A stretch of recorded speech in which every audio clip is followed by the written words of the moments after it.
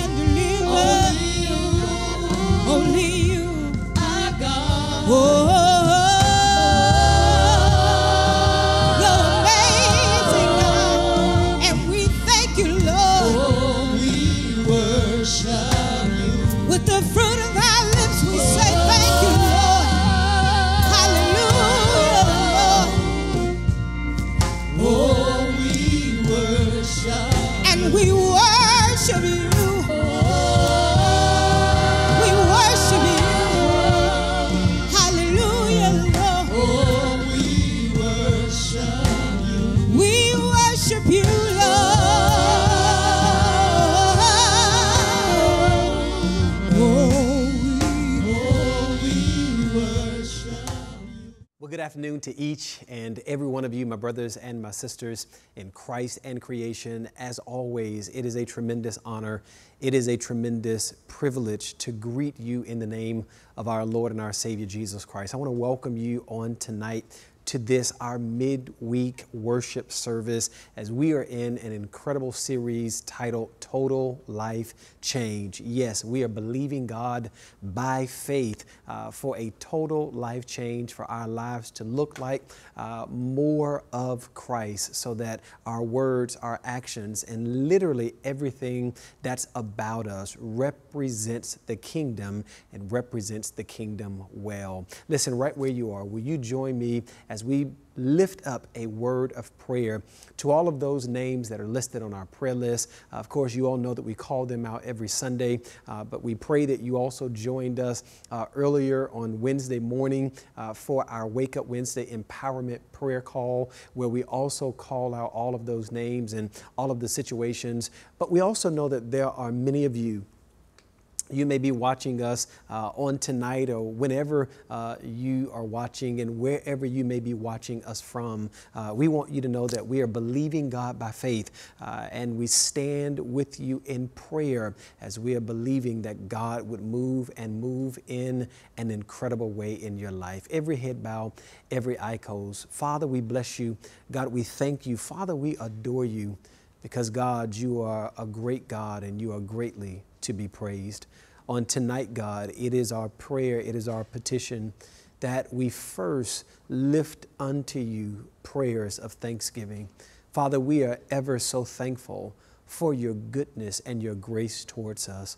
God, we are thankful for your love that reaches right where we are when we need it most to remind us, oh God, that you are concerned about we, your people. Thank you that your love stretches beyond our wildest imaginations and it holds us in the hollow of your hand. God, we thank you because it's your love that is continuing to send healing. It is your love that continues to send deliverance. God, it's your love that gives us a peace that your word says surpasses all understanding. Father, we thank you for your love. We thank you for your compassion. We thank you for all that you've done and even all that you're doing right now. Father, on tonight, we also lift up a prayer and a petition that you would forgive us of all of our sins. Father, we pray now that we would turn and that as we turn from everything that's not like you, we pray, Father, that we would humble ourselves, seek your face, because, Father, you've promised that you would hear from heaven and that you would heal our land. God, we're praying on tonight that we would have an encounter with you. Meet us where we are, God, that we will not only hear your voice, but Father, allow us to feel your presence. Father, there are those who are watching on tonight, or watching whenever it may be. God, I pray now that you would speak tonight, that all of your people would feel you like never before.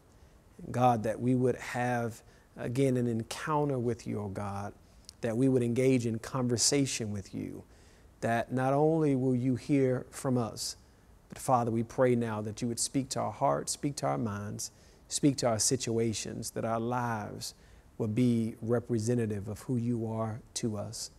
Father, we're praying now for your word to go forth. We're praying, God, that it will fall on good ground and that it will plant itself so that a good harvest may be produced. God, we bless you. God, we love you. God, you're welcome here. In Jesus' name we pray. Amen. Well, today we are going to continue building on our total life change and further the discussion on exploring the idea of what it means to have faith and why it's so important. Hey, last week, Pastor Jones shared with us the foundations of faith and that all things that will stand can only do so with a strong foundation. For the believer, that's our faith. Because we have the assurance of God's love for us, it's there where we find our roots in God. These roots can be uh, and must be real and can only be strengthened through a personal relationship with the Father. With the strength of our faith, we gain the courage to endure challenges, trials, and struggles. We gain the courage through faith to obey God even in times when we don't always understand. Faith endures the time of testing and gives us the foundation by which we stand. Tonight, we're going to take a deeper look at how we can grow in and live out our faith.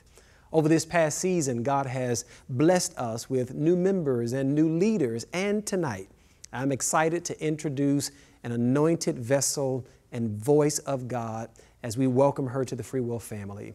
While she may be new to our ministry, she is no stranger to rightly dividing the word of truth, as she has served in ministry for some 20 plus years now. Freewill and all friends, please join me in welcoming to the Total Life Change series and to the Freewill family, Dr. L. Renee Gibson, as she comes.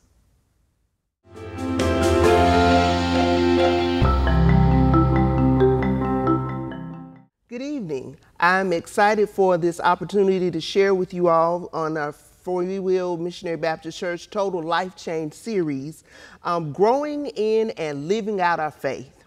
Last week, as Pastor Bird said, Pastor Jones blessed us by talking with us about the foundations of faith.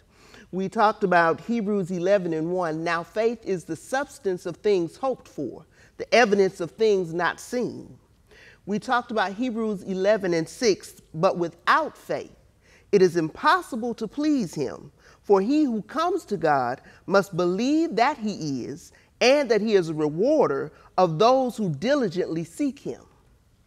Faith is believing God, it's relying on or having an assurance in God's testimony, the truth of God's testimony. Faith is relying upon the assurances of God it's an unfaltering reliance on the fulfillment of God's promises, even when everything seems against fulfillment. In order to please God, we must have faith that He exists and that when we approach Him, He will not only see us and hear us, but He'll come and see about us. Faith is confidence in God that leads to obedience to God. So now that we've done a little reviewing about the foundations of faith, let's talk about growing and walking in our faith. You know, new babies are taken to the doctor periodically to make sure that they're growing properly.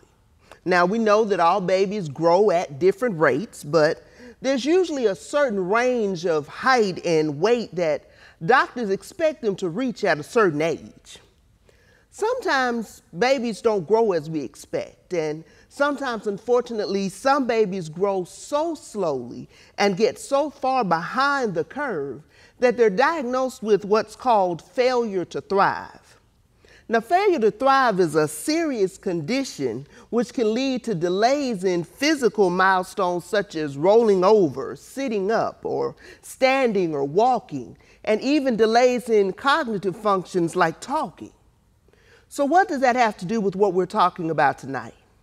We all grow in our faith at different rates, but we need to be on the lookout for and make sure that we address spiritual failure to thrive. God expects our faith to grow. In 1 Peter, the second chapter, verses 2 and 3, we find the words like newborn babies crave pure spiritual milk so that by it you may grow thereby, if indeed you have tasted that the Lord is gracious. In 2 Peter, the first chapter, verses 5 through 8, we find, For this very reason, make every effort to add to your faith goodness, and to goodness knowledge, and to knowledge self control, and to self control perseverance, and to perseverance godliness, and to godliness mutual affection and to mutual affection, love. For you have possessed these qualities in increasing measure. They will keep you from being ineffective and unproductive in your knowledge of our Lord Jesus Christ. God wants us to crave what we need spiritually so that we will grow in our faith and in our relationship with Him. If we've tasted the Lord's grace, then we should crave more of Him in looking and preparing, I thought about one of my youngest godchildren. He's a two year old. And a couple of weeks ago, one of my teachers brought in some pound cake for the teachers. Well, after all of the teachers had gotten all of the pound cake that they wanted, she gave me what was left and said, Take it home to your godchildren. And I took it to them, and I had that two year old on my lap, and I cut him a slice of that pound cake, and I broke off a piece and put it in his hand. He popped it in his mouth and his eyes lit up. He doesn't do a whole lot of talking, but he's got a gesture that we know very well. He started on that first bite and he said, which for him means I want more. And so I broke him off some more, and then every bite that I would give him, that little hand would fly back out. It was good to him, so he wanted more. If we've tasted of the Lord's grace, of his goodness, of his mercy, then that should cause us to desire more of him. As parents, it's our goal to see our children grow, to develop, and to become productive individuals. Our Heavenly Father wants us to grow in our faith and for our faith to produce other good things. Now, again, we all grow in our faith at different rates, and that growth manifests itself in different ways. But our faith in God through His Son, Jesus Christ, should eventually cause something to be different about us. There was a song that I used to hear, and it had the words in it I don't walk like I used to walk, I don't talk like I used to talk. Something ought to be different. Let me put it in some plainer terms. If our mantra used to be, I'll go off on somebody in a half a second. Well, now, as we grow in faith, it ought to at least take us a minute or two before we grow off. If our mantra used to be that we pour tea on a regular daily basis, and for those of you that don't know, pouring tea means to gossip.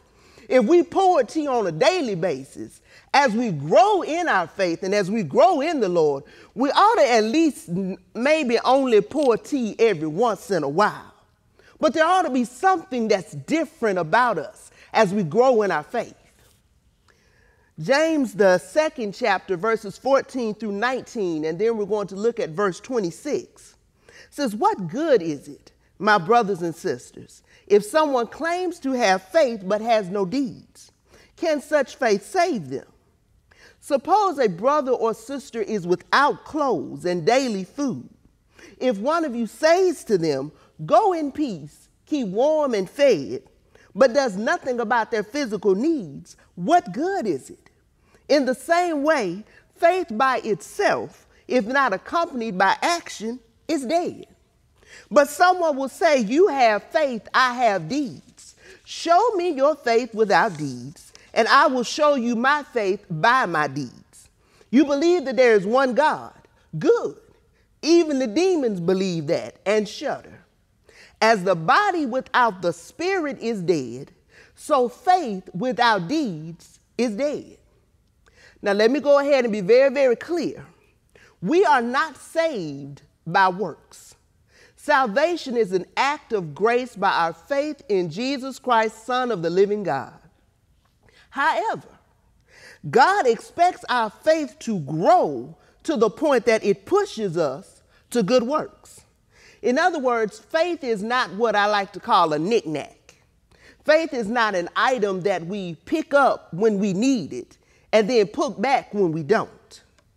Faith is a living thing that should grow in us and change us for the better. Faith is a living thing that should grow in us and produce good fruit. As we grow in our faith, it ought to produce in us some more patience. We ought to be a little bit more tolerant of one another. As our faith grows in us, it should produce more caring, where we're more apt to reach out and care about the needs of our fellow man. It ought to produce more service in us. Faith is a living, growing thing, and as it grows in us, again, it should grow us to good works. So we've talked about the fact that God wants us to grow in our faith. And now let's talk a little bit about that growth process. Healthy physical growth requires nutrition and exercise. Growing and walking in our faith requires spiritual nutrition and exercise. First aspect of that spiritual nutrition is the Word of God. Matthew, the fourth chapter and the fourth verse, Jesus is in the wilderness being tempted by Satan and for 40 days and 40 nights, and Satan says to him, You're the Son of God, turn these stones to bread. Why be hungry? Jesus says to him in Matthew, the fourth chapter and the fourth verse, but Jesus answered and said, It is written, Man shall not live by bread alone, but by every word that proceeds from the mouth of God.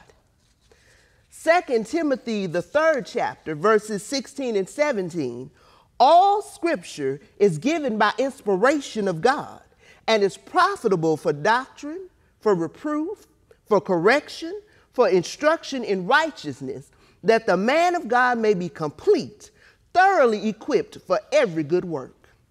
In order for us to grow in our faith, we've got to spend some time in the Word of God.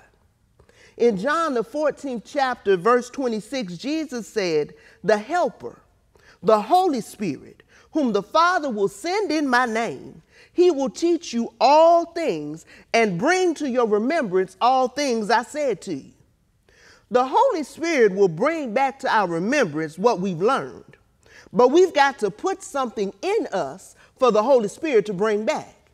I'm reminded again of another one of my godchildren. She's a little older now, but when she was a little girl, we were headed out to EastChase, I think it was, and for whatever reason, I decided I wanted to have some cash, and so I told her I need to go by the ATM. And we pulled up to the ATM, and I put my card in, and I got some cash, and she was maybe around six or seven years old, and it blew her mind. She said to me, Titi, you mean you just go to that machine and put your card in there? and they give you money, I had to do a quick life lesson, baby girl. That's not how it works. You've got to put some money in the bank in order to put the ATM card in and for them to give you some money back.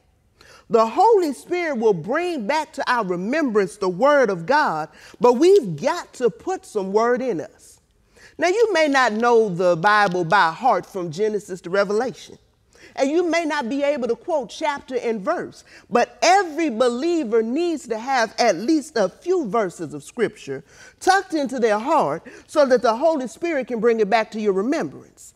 You've got to have some word tucked in you so that when times of fear come, you can remember that God has not given us a spirit of fear, but of wisdom, love, and a sound mind. The Lord is my light and my salvation. Of whom shall I be afraid? Yea, though I walk through the valley of the shadow of death, I will fear no evil. You've got to put some word in you for times of sadness so that the Holy Spirit can bring back to your remembrance. Weeping may endure for a night, but joy comes in the morning. You've got to have some word tucked in you so that when chaos comes, when everything around you seems to be going wrong, the Holy Spirit can bring back to your remembrance all things work together for the good of those who love the Lord and who are called according to his purpose. You've got to spend some time nourishing your faith with the word. And let me say this don't make it complicated. If you don't know where to start, examine your day and look for some time that you can dedicate to the Word of God. And there's no right or wrong amount of time. What matters is that you're dedicating this portion to being in fellowship with God through His holy word. If you're not sure where to start, review and meditate on the sermon text for the week, or the Bible study text for the week, or the Wednesday prayer call text for the week. If you're not sure where to start, subscribe to a devotional like our daily bread and not endorsing any particular devotional. It's just the one I happen to use and I like it because it comes up in my email every morning at 12:01 a.m. So when I wake up, it's there. Install a Bible app on your phone. Most of them give you a verse of the day and it comes up every morning. The important thing is make sure you start somewhere providing yourself regular spiritual nourishment from the Word of God. Another key part of our spiritual nutrition for our spiritual growth is prayer. First Thessalonians, the fifth chapter and the 17th verse tells us, pray without ceasing. First Chronicles 16th chapter and the 11th verse tells us to seek the Lord and his strength, to seek his face forevermore. When we look in the New Testament, we find several places where Jesus took time to pray. Now, if Jesus, Son of the living God, took time to pray, that ought to tell us something. Prayer is essential to our spiritual growth, to the growth of our faith. But that's a couple of things we got to talk about. Ephesians, the sixth chapter and the 18th verse, encourages us to pray always with all prayer and supplication in the Spirit. Now I'm going to repeat part of that verse, and I want you to pay attention to two very important words. Pray always with all prayer. Now, you know, if we're honest, we know how to have a little talk with Jesus and tell him all about our troubles. And that's good. And we should. God wants us to bring our needs, our concerns, our cares, our hurts to him. But a prayer life that grows our faith has to do more than just take our requests to God when we need something. A prayer life that provides spiritual nutrition involves consistent, regular prayer that goes beyond requests. In other words, we've got to talk to God regularly and say, God, I just want to acknowledge how great you are. I just want to acknowledge that you're Alpha and Omega, the beginning and the end. I just want to acknowledge that you are the Almighty God. We've got to regularly talk to God and say, Lord, I just want to acknowledge that I messed up. And we've got to grow our faith by having enough of a relationship with God to be specific. Lord, I messed up by, and fill in the blank. That's how He can pour out the grace that we need to help us move beyond it. Lord, I'm not coming for myself today, but I'm coming in intercession to stand in the gap for somebody else. And then sometimes we've got to spend some regular time praying to the Lord, saying, Lord, I didn't come for anything today. Now, there are things I could come for, but in this moment of prayer, I just came to say thank you.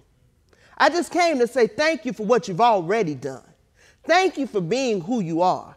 Thank you for the fact that you never change. I just came to say thank you. Praying always with all prayer nourishes and helps us to grow our faith. A prayer life that provides spiritual nutrition does something else. It recognizes that prayer is about talking to and listening to God. I'm going to say that again. Prayer that nourishes our faith recognizes that prayer is about talking to and listening to God. Because, you know, far too often when we talk to God, we're like that person, you know, that never lets us get a word in edgewise. We can talk to them for 10 minutes and they got 100 words to our two. But we often do that in our prayer life with God as well. I'm going to let you in on a little secret this evening. The prayer isn't always over when we say amen. We've got to take time to listen for God to respond. And now let me go ahead and let you know that God responds to different people in different ways. He knows his children. For some people, it may be an urging that seems almost audible. It may be a verse of scripture or a song that just won't let you go. It might be a word from a friend or a family member or someone else that unexpectedly speaks to your situation. It may even be something else that I hadn't thought about, but the key is you've got to spend time listening for his voice and how he responds to you. Another part of our spiritual nutrition is a significant relational group. Proverbs 27 and 17 says, As iron sharpens iron, so a man sharpens the countenance of his friend. It nourishes and strengthens our faith when we are connected to other believers who can challenge and encourage us. In the fourth chapter of Philippians, Paul encouraged the Philippian believers the things which you learned, received, heard, and saw in me do. In the 18th chapter of the book of Acts, Priscilla and Aquila meet a young man named Apollos who has a genuine zeal for the Lord, but he doesn't quite know everything that he needs to know.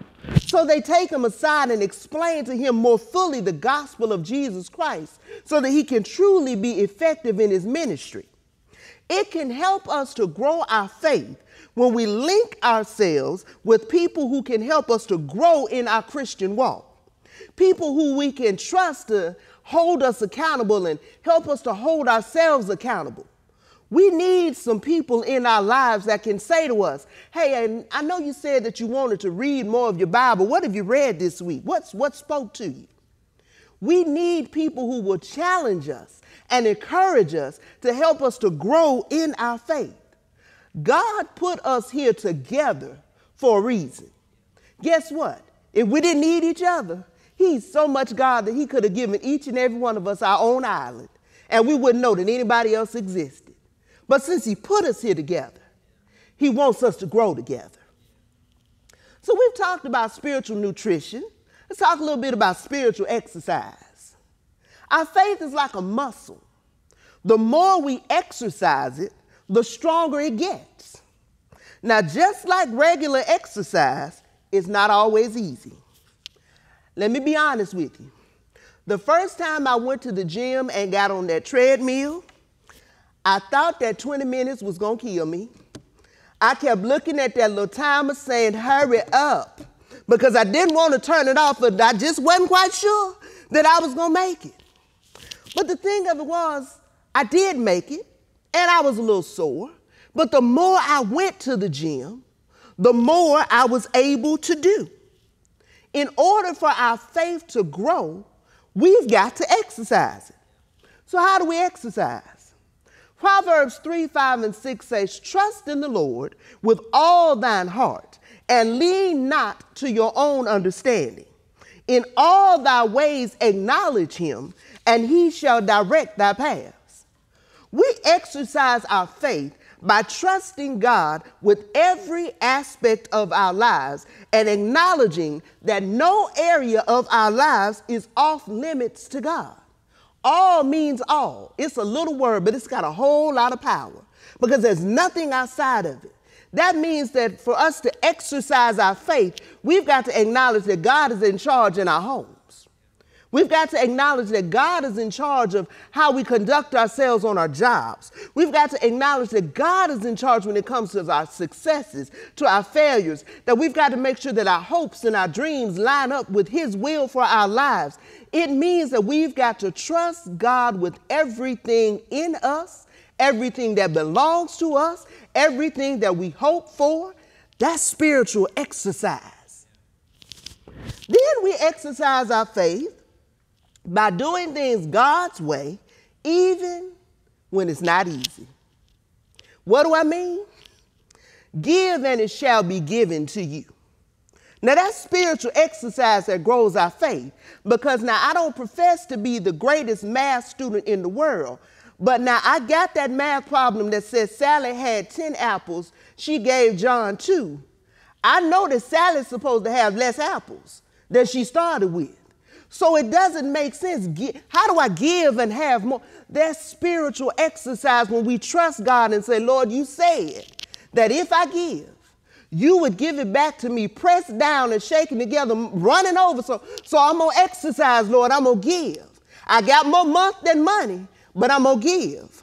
I got 10 other things that I could do with this, but I'm going to give. That's spiritual exercise that grows our faith. Vengeance is mine, says the Lord. Whoo, that's a spiritual exercise. Maybe it's just me that ever wanted to get somebody that got me.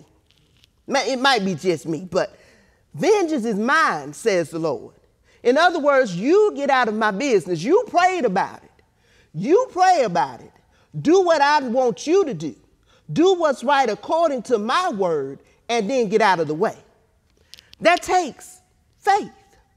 And it's exercise that grows our faith. Pray for those who spitefully misuse you. That's spiritual exercise that grows our faith. Pray and let me not pray that, yeah, yeah, don't pray that, not that prayer. Pray that the Lord would be with them and bless them, that prayer. Pray for those who spitefully misuse you. Uh, my godmother talks about how when her daughter was a little girl, she would often say that somebody did something deliberately on purpose. And she said, no matter how many times she told her baby, they both mean the same thing. You just don't have to use those two words together. The very next time she would say, uh uh-uh, uh, they did it deliberately on purpose. God says that we're supposed to pray for those who deliberately on purpose do things to hurt us. That takes faith. That's some spiritual exercise because human nature says, You were mean to me. I don't want to pray for you. You hurt me.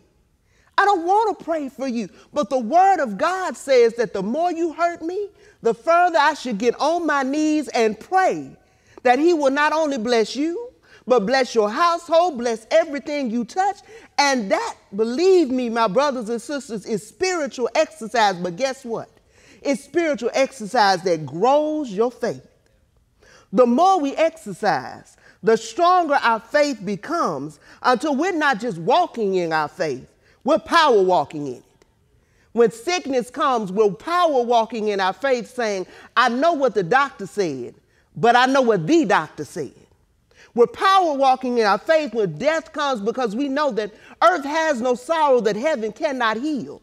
We're power walking in our faith when we lose our jobs because we can say, Now, God, you gave me that job, and I just believe that you got another one out there for me. The more we exercise our faith, the stronger we can become in walking in our faith. So, in conclusion, this evening, we all need to grow in our faith. And let me go ahead and let you know it's a continual process. Sometimes it's just like when you hadn't been to the gym for a little while. You'd made it up to walking two miles on that treadmill, but now you got to drop back down to walking one. It's a continual process, but we can continue to grow. We all grow at different rates, and that's okay as long as we're growing. Something about us ought to become stronger, better, and wiser as we grow in our faith. And we need to do an honest self assessment from time to time and ask ourselves, what's a little bit better about me this year than last year since I've grown in my faith? Growing and walking in our faith requires spiritual nutrition and requires spiritual exercise. So, how can we take all of this that I just said and put it in something that we can easily transport to today. Number one, watch for spiritual failure to thrive.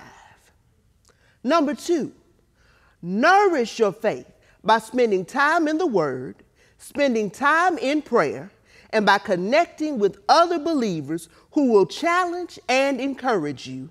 And number three, exercise your faith by trusting God and obeying God. One of my favorite hymns says, We've come this far by faith, leaning on the Lord, trusting and depending on His word. He's never failed me yet. Grow in your faith, walk in your faith. It won't fail you because great is His faithfulness. God bless you and God keep you, is my prayer this evening. Wow. Talk about an incredible lesson on tonight. Thank you so much, uh, Dr. Gibson, for pouring into us. Uh, it is our prayer that as she has so richly and so beautifully poured into us, uh, we trust that God is going to pour back into her as well. Listen, I am so excited for the word that she has shared on tonight, uh, not only growing in, but living out our faith. And listen, she said it best uh, that it is a journey, it's a process. Uh, but listen, it is our prayer that you have made up in your mind, that you've made the commitment to start the process. Here is what I am confident of that if you start the process, God will meet you right where you are, and Holy Spirit will help give you guidance throughout the way. So listen, I pray that each of you have been blessed on tonight.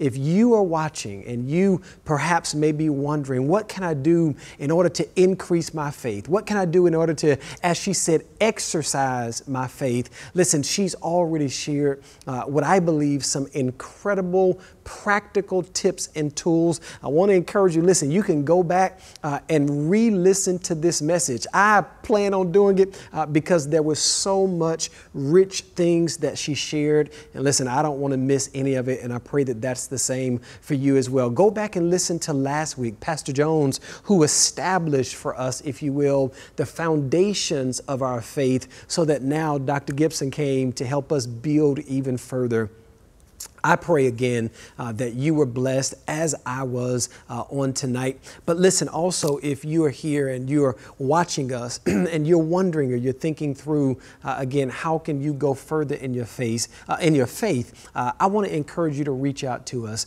Uh, perhaps you've never received salvation. Listen, that's a start right there, right?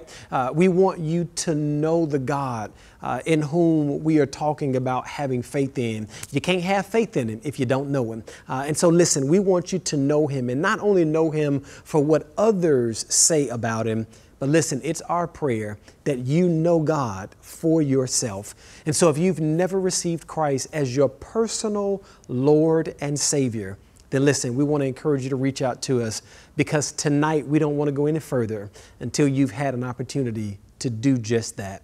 If perhaps you've received salvation, but maybe you don't have a church home, then guess what? You can do just like Dr. Gibson. Uh, she connected with our ministry here through the pandemic. And listen, we'd love for you to connect with us as well. I believe that God is doing, as He has always been doing, some incredible things in and through our ministry. So listen, if you are there and you don't have a church home, you heard her say it God never intended for us to do life alone. It was always according to God's holy plan that we be in community with each other. We don't want you to be out there by yourself. If you don't have a church home that you're connected to, we want to invite you to come and join our ministry. The same email address that's there at the bottom of your screen is the same address that you can reach out to us. Let us know who you are. Why? Because we want to pray with you and we want to celebrate with you what we are confident will be one of the best decisions you will ever make in your life. Listen, it is our prayer as we get ready to leave that while we are leaving, if you will, each other's presence, that we never leave the power and the presence of God. It is our prayer as we pray each week that God's blessings, that God's covering, and that God's favor will go with us and that it will not only be upon us, but that it will also be upon everything that's connected to us as well. I pray your faith. I pray that you are as faithful to God because God has been and continues to be faithful to us. Grow in your faith, live out your faith, and trust God for the rest. Have an amazing week.